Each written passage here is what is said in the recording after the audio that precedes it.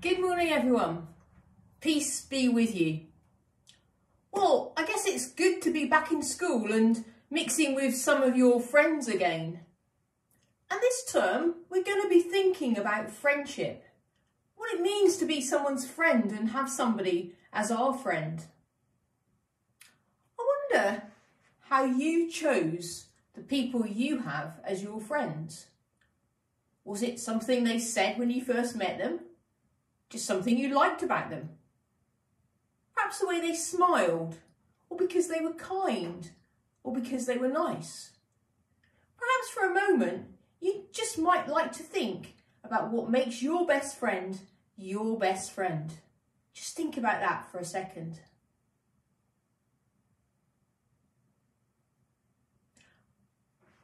I'm sure you came up with lots of ideas and you can share those perhaps with your friends later on. But you know, when it comes to choosing friends, we can't be a friend of someone unless they want to be our friend. Because friendship is a two-way thing. You can't be a friend just by yourself. so we have to think really careful about how we choose our friends. And you know, Jesus chose his friends as well. Of course, Jesus wants to be everybody's friend, but not everybody wants to be a friend of Jesus. And back when Jesus was walking around and, and choosing his friends, he did so in a very strange and different way. As we know, Jesus chose 12 people to be his special friends. But did Jesus choose them or did they choose Jesus? Tell you a story of the way Jesus found two of his friends. Peter, sometimes known as Simon, and his brother Andrew were fishermen, and they were on the shore of Galilee building their nets. And suddenly they saw Jesus strolling along on the seashore. Well, they knew a little bit about Jesus because they'd seen him around and they'd, they'd heard the sort of things he was doing. So he wasn't exactly a stranger. But they didn't really know him that well. But Jesus walked up to them and he asked them what they were doing and they told them that they were fishermen and that they were mending their nets. And Jesus said something really strange to them. He said, if you come with me, if you be my friend, I will make you fishers of men. Now, they might have thought about this for a little while, but Andrew.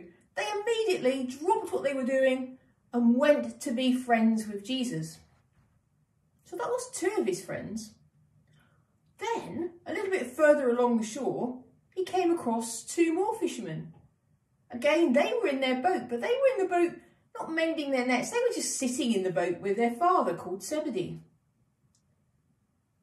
And James and John saw Jesus coming. And again, they sort of knew him a little bit, but not very well. But when Jesus got to them, he started talking to them. And he said to them, come and follow me.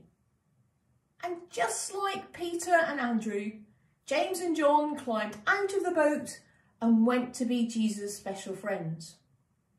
And as we know, Jesus then gathered around him a few more special friends.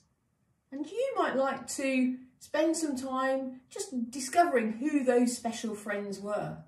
Perhaps get one of the teachers to read you some of the other stories in the Bible about how Jesus found those friends. But just like them, we can choose to be a friend of Jesus if we want to. He never makes us be his friend. He wants to be our friend, but it's our choice whether we choose to be his friend. So let's uh, just be quiet for a moment and take some time to think and some time to pray. Dear God, we thank you for our friends. We thank you for the fun we have and the times we spend together. We thank you that Jesus wants to be our friend. Help us to make the right choice about whether we want to be his friend too. Amen. Well, I hope you enjoy the rest of whatever it is you've got planned to do today.